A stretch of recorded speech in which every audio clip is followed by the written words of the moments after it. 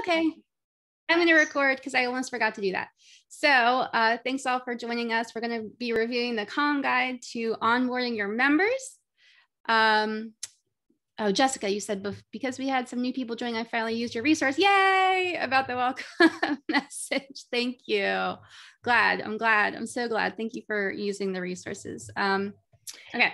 Uh, Deb, just just so you know, as we as we get started, I um you won't be able to see me um, every time because I'm on my iPad. Every time I go out of Zoom to go uh, access something, it'll my picture will just show up. So just so you guys know, it, I'm not leaving the room. No, it's all good. And I was uh, having some internet issues, so I think while I'm um, sharing the screen, I'll just keep my video off, and then once we come back, I'll turn it back on, just for everybody, so that you know why my video is off.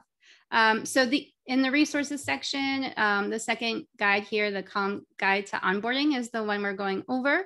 Um, you should be able to get access with this. I did something really funky. And so there's a bunch of people in here that don't belong in here, but they will get removed. I just am talking to my networks about how to do that because I added something to something and now I can't remove members for some reason. So um, I've got a help ticket in with Mighty Networks because I'm kind of stuck with it. But with that being said, um, section, so section one, I'll just do a quick review. Section one, we did um, discuss about creating an onboarding plan. Uh, we discussed like why, um, what is onboarding, why is it important? And we talked about how you, you create your, on, your own unique onboarding plan. And then in section two, which we did last month, we talked about connecting your members and sparking conversation. We talked about how you can cultivate a community garden and create a safe space, um, create belonging, have some fun social events to connect your members. And then in this session, we're going to be talking about how to create growth. So, how do you grow your Mighty Network? Kathy has a lot of growth right now, which is fantastic. In my celebration for this month, is I hit my goals for the community. And I'm so happy because my goals were, um, you know, to get you know, $500 a month from the community. And that, that was my financial goal. And my member goal has been hit. And so I'm really excited to continue to grow the Find Calm Here community. And it's with your help. So thank you so much.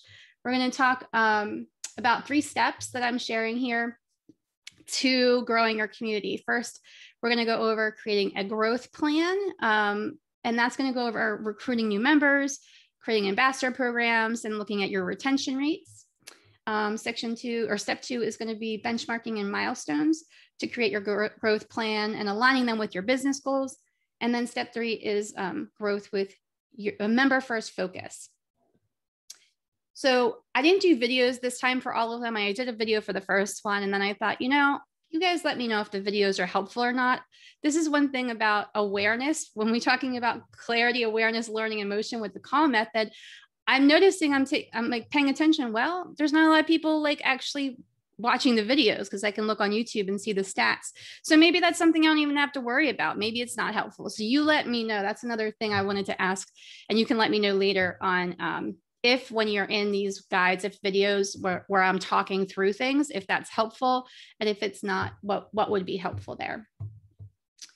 Um, so I went through the calm method with this first uh, step to create your growth plan. I talk about how to get clear on recruiting new members really starts with, we talked about connecting your members in, in section two, and it really starts with what's been working.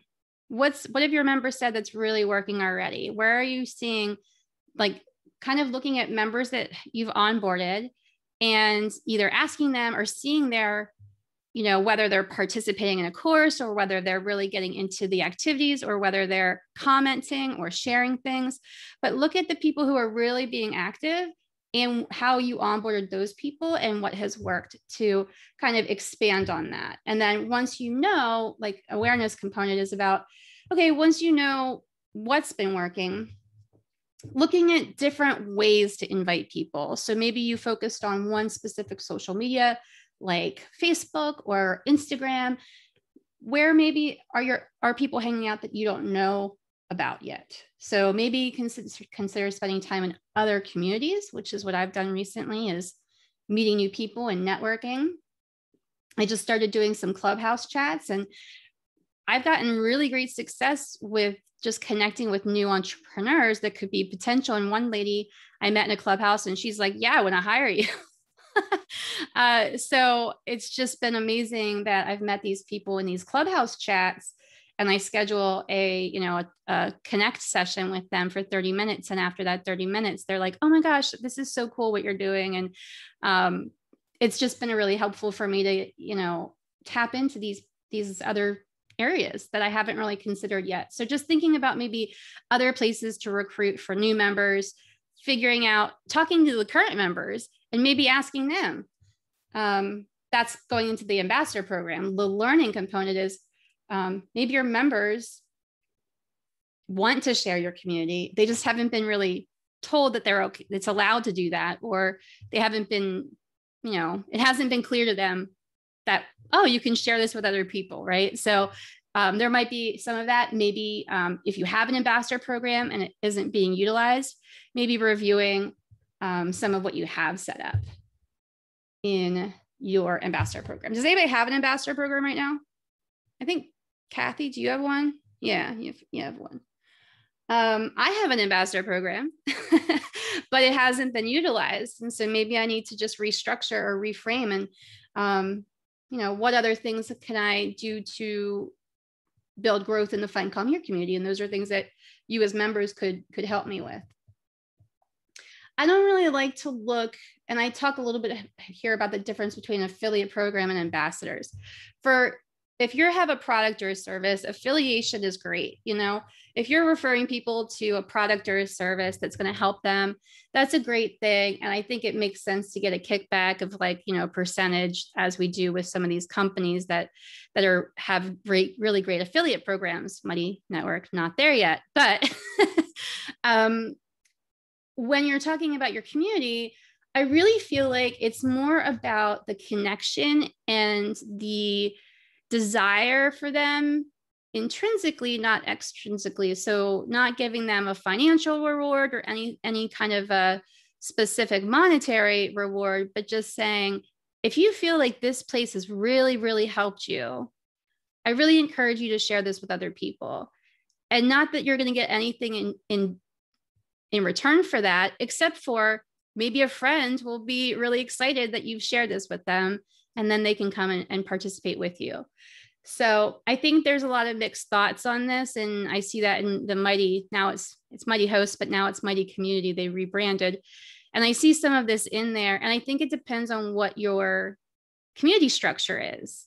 You know, if you are a business networking, and if you are based on monetary goals in that sense, then maybe it is appropriate to do an affiliate program. But for most of the you and the people that I work with, for the most part, we're really trying to create some kind of transformation and helping people in a deeper way.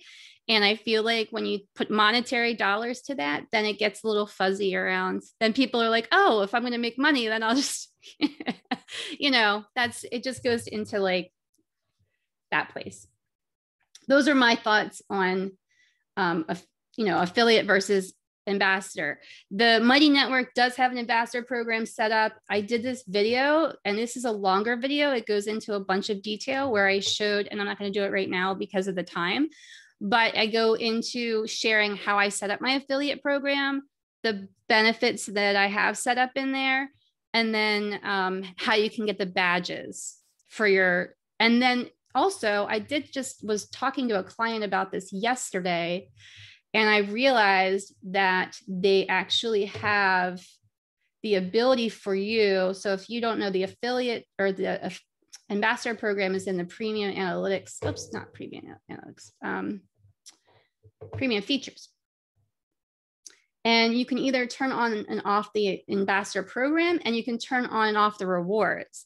So I think this was one toggle at one point and or somehow you could add rewards later but now it's it's separate things so you could just do badges where people you know they get a little badge when they invite like you know t- two or 10 people or i think the mighty network you have to get to 10 to get to silver so right now i and i didn't always use my share link which is the other thing for about the ambassador program they have to use the right share link for you to for them to get the credit uh, on the badge. But where am I going with this? If you look on my profile, it says I'm a bronze because I invited at this point nine people with that share link. And once I hit 10, I'll get to silver. And then I think gold is 20. That's a lot of members. And so I don't necessarily know that a reward makes sense for those designations, which is why I changed my my reward system so that you don't have to get so many members before you can get some kind of reward. But those are things to consider when you're looking at an ambassador program. Um, you could just have the badges for now and then decide later when you talk to members, you know, what rewards, if any, would make sense. And then in the last section here, I talk about the member journey. Um, in section two, we um, reviewed analytics and, and talked about, we, oh, not analytics, we reviewed participation. And then in this section, I also talk and go over in that video about analytics. And I talked a little bit about analytics before. I don't want to get too deep into analytics, but um, it's a good place to like just look and see who your most active members are. It can also help you see who's not active and before you lose them, you could actually kind of track their progress and reach out to them at different points to make sure you don't lose them. And so that's kind of going, this is kind of going into retention where I feel like there's a lot of things that you can do to keep members in the community before they leave. Um, but not everybody's going to stay you know some people come and get what they need and then leave and some people you know stay because of the the community and they have the time and want to show up and participate and then other time are just like oh other people are just like this isn't the time for me and so it's just um so i just kind of state that sometimes it's not that it's anything about your programming or your events, but it's really just about the time that they have to be able to commit to this space. Um, and maybe they got what they needed and then they move on. So those are just things to consider. I have a worksheet here that I put together that uh, just, just outlines all of these things for you to put in there. Writing out um, your plan to recruit new members. How will you connect? Where will you find them? Um, maybe if you've gone to the same places what new places can you find to to talk to new people or meet and network with new people that could be potential members um, awareness around what's your what you already know about your your network members and how you can leverage to start maybe cultivating new connections um, and bringing new members in with asking like your current members of who they might think in their circle would be benefit from this resource Joanne's coming. Okay. Learning is about um, the ambassador program. We talked about how maybe you want to encourage members to invite others to your network, identifying the potential of, you know, what what do I want here and how many people do I want in this space? Kathy had some goals of like 50, you know, and she achieved her goal of over 50 people. Do you want 50 people in there? You know, it just depends on your space and what you're capable of, you know, work how many people you want to work with and kind of identifying that too um, writing out your member journey is the other part of this and just identifying like where the members are we talked a little bit in the last uh, workshop about the commitment curve and how people you know come in and come out and some people get really excited about something and then dip out. Um, so just talking about that and and maybe and again talking to members and just asking them like either in messages or just casually during zoom calls around how you could make it a more personalized experience for people or making sure that they're getting what they need. And i have a little bit of a growth plan here that i shared. Um, for myself. So currently i'm going to reach out to new to new connections and create a personal invitation uh, inviting them to a, a video call. And then I'm just going to send them a personal email and talking about what I'm doing inside the network to follow up. I'm going to use the place that I'm going to go is LinkedIn because I feel like that is the best place where my my potential ideal members are going to be hanging out and Clubhouse because that's where a lot of entrepreneurs are. So those are the two like platforms that I'm going to put my intention and focus into when I'm looking at recruiting. Um, I'm looking at a schedule um, to block out. So um, scheduling emails, messages, or events. And Monday afternoons are like my best time for that for me. So that's what I identified as like the time when I will block Monday afternoon for my initiatives to grow my community. So that's specifically a time that I book, but I say from two to four on Monday afternoon. I'm going to reach out to people on LinkedIn. I'm going to connect with people on Clubhouse, or I'm going to, you know, send emails or, or that kind of thing to work on my growth plan. So I've dedicated time to it. And then um, why I'd like to grow. So, how many members and why is that important to me? It's another important point of just, you know, I'd like to get to 50 members by the end of 2021. I don't know if that's going to be realistic for me right now. It might not be. I only have 25 members right now.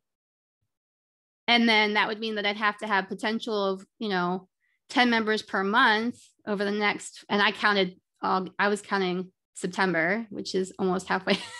We're like a tenth. So, um, and then over the next four months, I'd have an intention of converting. So if I'm inviting that many people, my conversion rate is like maybe five to six people per month. So I'm probably not going to hit 50. That would be really great, but that's probably not where I'm going to go. But that that's just a overall concept, like a example. Um, and so then I have um, a challenge here for you to post your own growth plan in the community to let us know and inspire others. So that was step one. Before I move on, did anybody have questions about all I just went over? And I know we've got 20 minutes, so I'm going to bust through the other two sections in a minute here. No, everybody good? All right. Just let me know if you're if you have a question. Um, the next section is about benchmarking, and the other two sections are shorter. Um, benchmarks and milestones. So I think it's sometimes hard. We see this big idea of, you know, 50 members or 100 members or having a dollar amount. And that can be really hard and frustrating when you're like feeling like you're not getting to those places. So I feel like it's super important and helpful for you to benchmark through your process. Uh, in the beginning of this call, I was talking about uh, how our Mighty Mastermind in the beginning of the year was a little bit more structured and we had some uh, goal setting. And we talked about a growth plan for 30, 60, and 90 days. And so now I'm talking a little bit more. Now that we've kind of identified in the first step, we looked at, you know, what's working with our community. We talked about retention and then we talked about how do we grow and encourage people to join and where am I going to find these new people? So we have identified our growth plan in the first step. The second step is now talking about okay, what's the timeline? Let me get a little bit more clear on specifically like can I make this work in my schedule over the next 30, 60, 90 days and how is that going to look on my calendar? Um what else do I say here? Timeline. So writing out your timeline for what, oh, this is also good. I talk about going into your history. One of my clients recently had a history of, um, he, he's been doing community for over two years. So I looked at all of the history all of over what they've done over the past two years and then kind of evaluated that and said, well, what does that mean for the future? So I talk a little bit about here about writing your timeline from the first time that you thought about community, which might have been a while ago for, for some people, it might have been uh, not so long ago for some other people. Um, but what you actually built and launched and how long your members have been inside and what goals did you have in the beginning and maybe now looking at it in a fresh new perspective of saying okay here's what i've done here's what i learned and now I feel like I get it. Like, this is the more realistic goal, or this is what I now want to focus on, and shifting focus to different things. So I just talked about like really identifying your your history and your timeline and then reviewing. Did you achieve the results that you wanted to hit from that first plan from the first time you launched if you have launched already? And then you know what did you learn from the past experiences? And then taking action of like okay i've learned all this stuff and now i'm moving forward into a new plan of like a restructuring. A lot of the clients um well one of the clients i'm working with right now we're doing a restructure. And it's really about okay, what worked in the past, what didn't work, so we can like make sure that we have more things that work and less things that don't work, right? So that's kind of what we're in this evaluation stage right now with that client. And it's been really interesting. We're in the validation for the first month, we're doing validation. And so I've been asking members in polls, because now I'm the community transition manager, is my title for this role. And so I'm in a community of 7,000 people, and I'm trying to get responses from a poll about our new transition and some of the benefits to understand is this going to be helpful for these new members or not? Because we're moving from a free model to a paid donation model. And so now I need to figure out okay, well, how do I get these people to stay if they're interested in staying and see that it's um, worth their donation investments, kind of thing. So those are just things that we're reviewing with that client, but I wanted to just give you that as like a example of how you can kind of look at restructuring. And then I have what you're, yeah. Can I just ask a question here? Of course. Um, kind, kind of of, of everyone. Um, does anyone else set a goal and it feels, it feels, um, you know, like it's pushing beyond your comfort zone and yet it feels kind of doable. Like you, you put a plan into place and then uh, not long after that start to feel um, like a little bit discouraged in some and diff- for different reasons and in different ways. So i'll set a goal and then i'll immediately feel like oh like i, I don't know. I have these uh, a lot of doubts will come up. Like am i um am i really offering something? And i mean i know that people um, connect to what i'm offering um, and yet I, I will immediately start to have all these self doubts. So I, I don't know. I'm just thinking, not that you can address all of this, but with this being the calm is like a, a, at some point you're starting to if anyone else feels this way um, it has like self-doubt start to creep in um, after setting a goal i think it could be really cool um, thing to have like a little bit of encouragement in this guide for getting beyond that self-doubt just a thought. Yeah i see head, um, heads nodding. I must not be the only one that has a no, no, and that's I mean, I guess what I'm trying to express here in in this section in step two is that exact thing of marking small benchmarks so that you're not feeling disappointed if you set a goal of 50 members by three months from now and that doesn't happen you're not waiting for that goal to happen. You've set other benchmarks up. So maybe there's other places for you to be able to be excited about.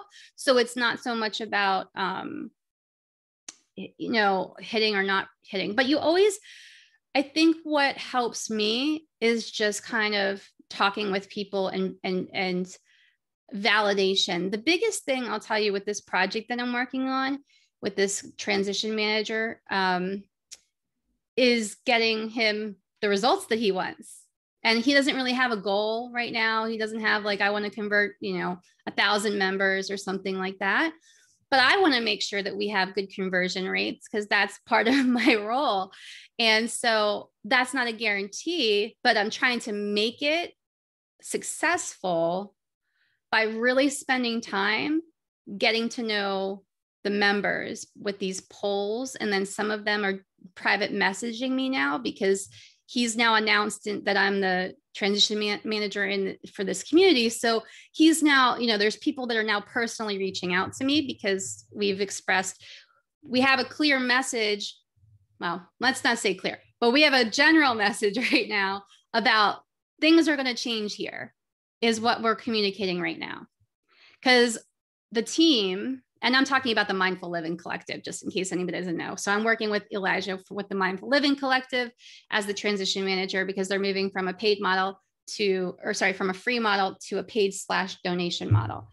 And the, the biggest thing that I want to have is success that he gets people connect, not just, you know, signing up and joining, but also we want to create engagement because that community is kind of like dead and it's because they had really great success in their like smaller programs but not a whole lot of success in that main network so that's what i'm tasked with trying to do i feel like if i would say i want to have a thousand members on our first launch that's unrealistic. Even though it's 7,000 people that we're looking at, a lot of those people are just, once we move it to a different model, they probably are, are going to identify that this might not be the best place for them for whatever reason. Maybe they have other places that they're doing.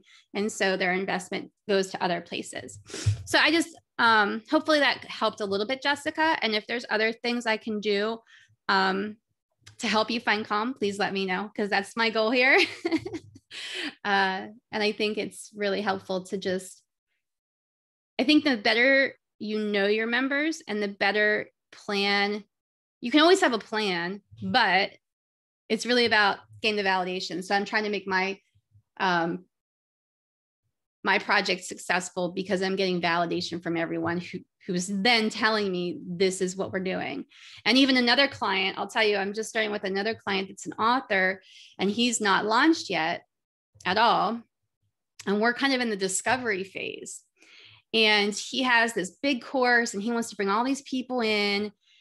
And I'm working with his assistant mostly. And he's like got all these big ideas. And I'm like, we got to validate. You got a, Facebook group of 700 people. Do they want to move to somewhere else? And then how much are they willing to invest? So we literally put together a survey and asked them, would you invest $25 a month? Would you invest $47 a month or whatever? Um, then we then we know. So instead of like, I think what I did in the beginning when I did my lunch was I shot everything was a shot in the dark and I was just kind of like guessing. But the better you are at validating every step, the more successful you're going to be. And then you can know, all right, this makes sense. Now, obviously you start with a vision before you go to asking people, right? So you identify your vision first for the network, what you're going to do there, who you're bringing together and why, and all that kind of foundational stuff. And then you're just kind of refining it with, okay, here's what I'm thinking. And then let's make sure that what I'm thinking aligns with like what y'all want to do in the community, like what I talked about earlier. Um, I'm going to go back and just finish this up real quick so that we can go to a few questions. So I have a I have a SMART goal you know, they're specific, measurable, achievable, realistic, and time based. And then I have a worksheet for you to go over to identify your goals. And this is kind of what I talked about in the beginning of what are your business goals, what are your community goals, and how do they align together to make it easier for you. So you can look at that later. The third step is about looking at growth from a member first perspective, which is kind of what we've been talking about all along, but I just kind of want to hit home the, the point that you can have so many goals and you can be all excited about programs, but there's a lot of other stuff to consider. Um, now that we've talked about like some time-based, realistic, measurable goals, it's time to think about scalability. So you can, these are things that I'm reviewing with this client when we're doing the restructure. Are all your topics being utilized? Because this is now talking about your time and your effort. Like I said in the beginning, I'm thankful for everybody to use my resources, but I'm really trying to pay attention to what resources aren't being used. Because if I'm creating something that's not helpful or that's just not being utilized, then I don't want to spend more time doing that because I could spend my time focused on other things that are going to be um, that are going to be consumed. So I just talk about the topics. I talk about um, what are your most active groups and courses. Uh, if you're on the business plan, maybe you could nominate a moderator in that space. Maybe there's a really active space that you've been involved in, but you can identify somebody as a leader of that little group and then say, Hey, I really would love it if you would be able to moderate this group for me.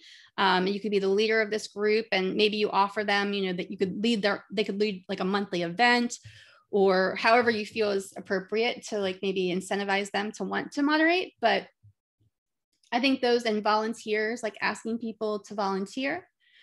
Um, the next thing I talk about is community management. Um, a lot of us are all being a community manager and a community host at the same time. Pretty much everybody in this room is. Um, I've been a community manager and I'm currently going to be a community manager for this community of 7,000, which will probably end up being a lot less when we transition.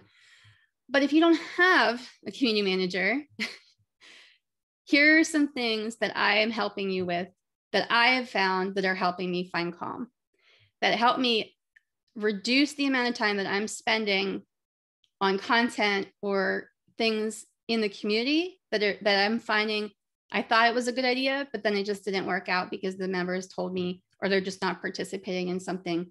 And so those are just examples. I have like this post, I did some screenshots of just things that are in the community right now that I found that help me get more engagement and feedback from people so I can identify what content's working. And then if you go to the analytics section, you'll be able to see um, what your most popular posts are. So those are other ways that you can identify what is content is being really used here. And are my members all really getting the benefit of either attending live events as well as how is my time being utilized in the Mighty Network? So that's the end of that, but I will just give you a heads up for next month, um, not for the Mighty Mastermind, but for the Find Calm Here community. I'm doing a tech integration workshop. And so we did this in, I think, July, and the next one will be in October, and I'm going to go over section two. And so what I thought about was the onboarding. Now that we've kind of like identified all of these ways to like structure, we want to talk about how to streamline your experience. And so that's what the tech integration guide is. So how do you how do you really like do community where you're feeling like things are going great, it's it's not overwhelming, you're enjoying the time that you spend in the community and you're getting the results you want. Like how do we make that perfect storm if you could say? How do we make that happen? And so that's what I'm going to be talking a little bit about with the tech tech integration is how we can kind of streamline some stuff that are helpful um, to save some time as well as hopefully grow your network. So, okay, I'm done talking. Speak or forever hold your peace. um, I wanted to say to Jessica, I completely feel um, her pain. So when I, I started my community on um, November 9th, and this is the third iteration of this community. Um, I, I started with Mighty Networks in May of last year with, um, a, with a completely different concept of what I'm in now. And I tried a course and whatever. So where I'm at now, though, I started in November. And that first uh, cohort of people in November was literally me asking if you want to continue this conversation, you know, um, and you're willing to pay me $10. I have this space, I've already paid for it, and I would love to continue conversation and grow this group. I had seven people join, one person paid the $10. I was like, okay, if I get that to one person, I can get two people. So I held free, I was, I'm holding free virtual meetups and then inviting people into the paid community. And every time I did that, I would raise the price $5. So it was 15, then 20, 25, until I got to 30.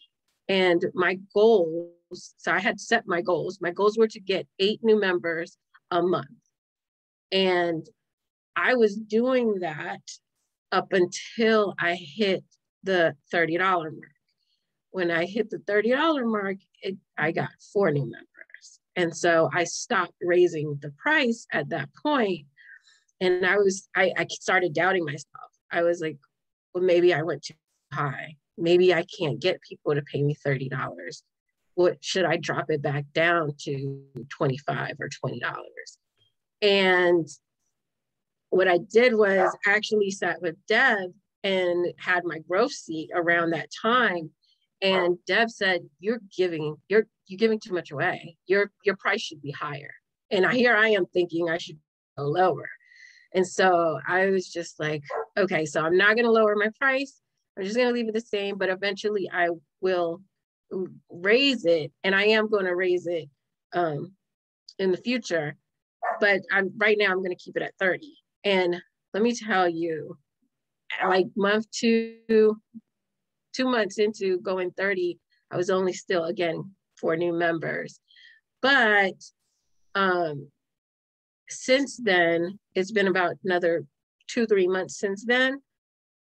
I am now starting to get eight members joining the community at $30.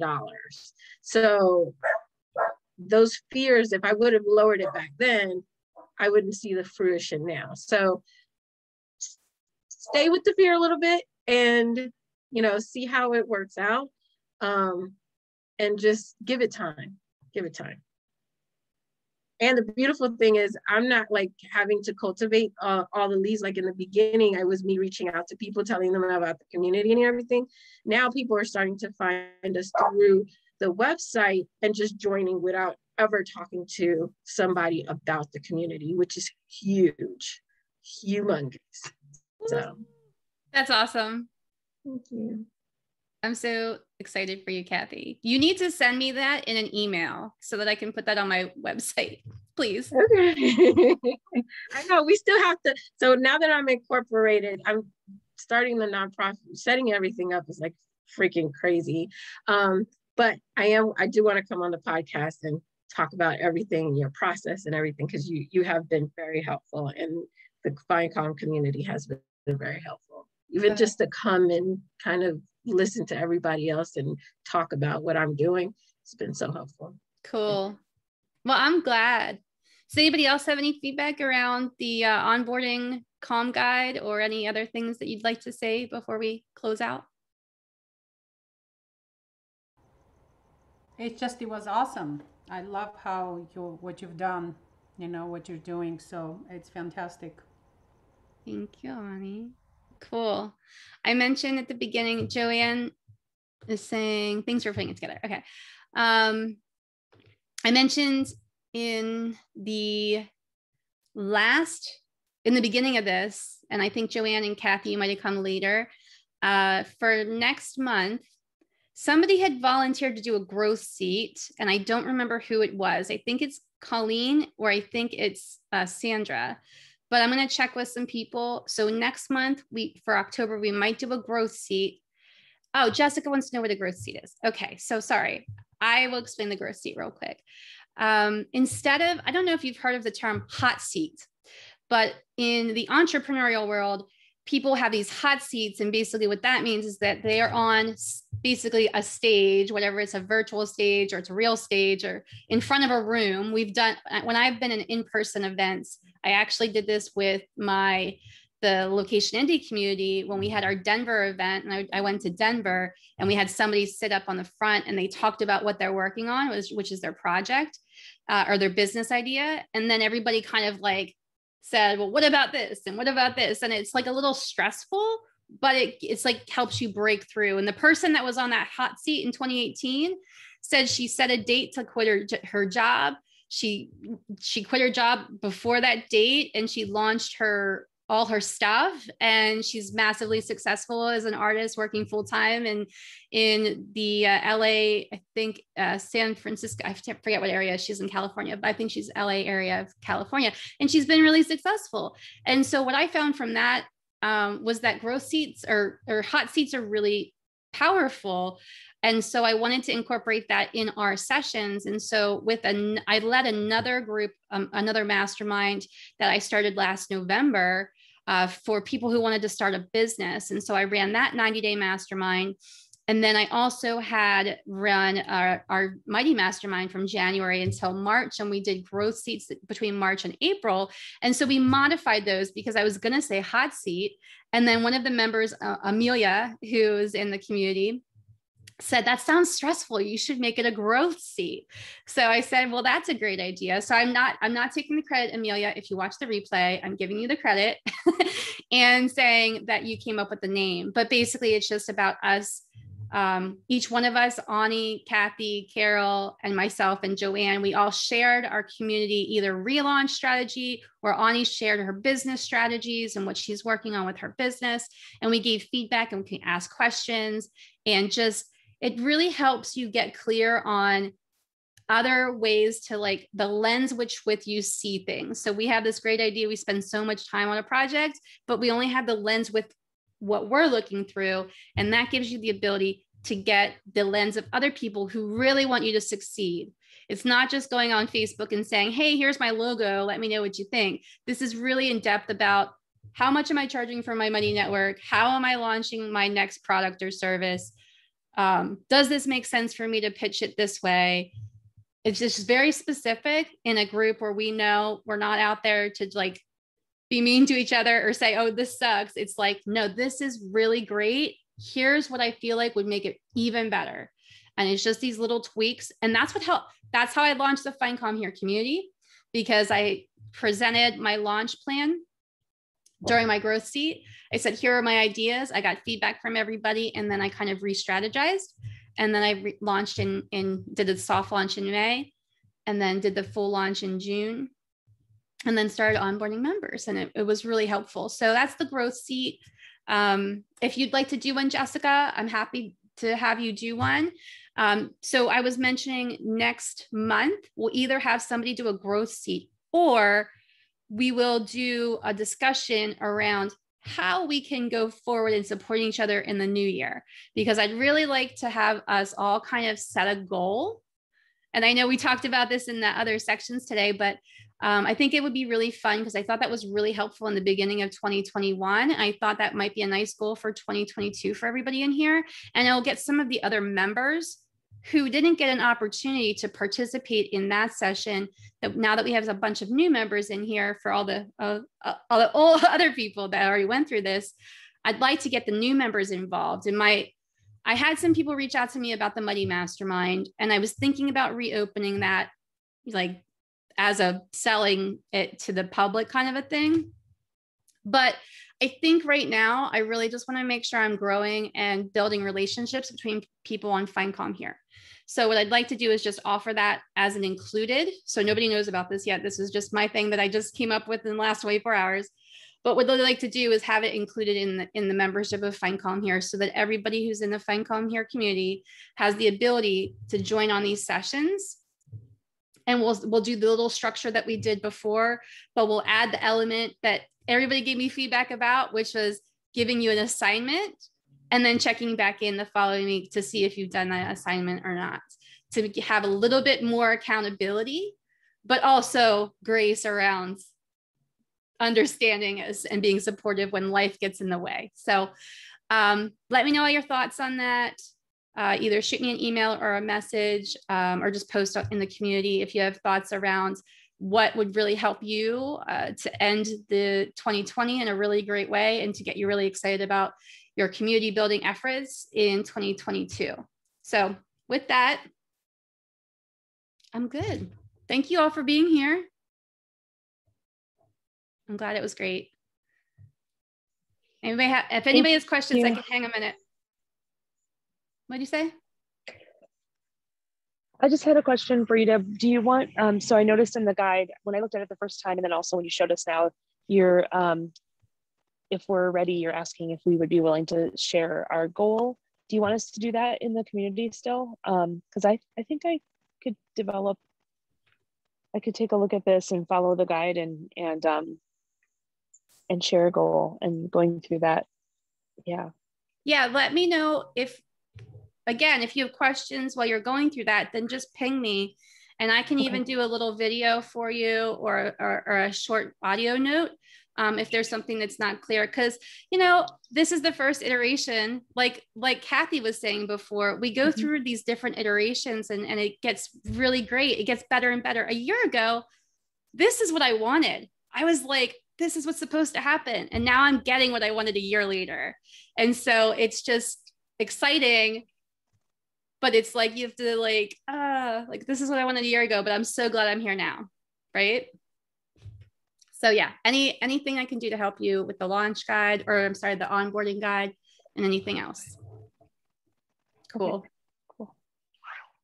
Cool. Any anyone else have a final question? I know you guys were hanging out a little bit longer. If you want to, anything else? No, everybody's just kind of doing their thing.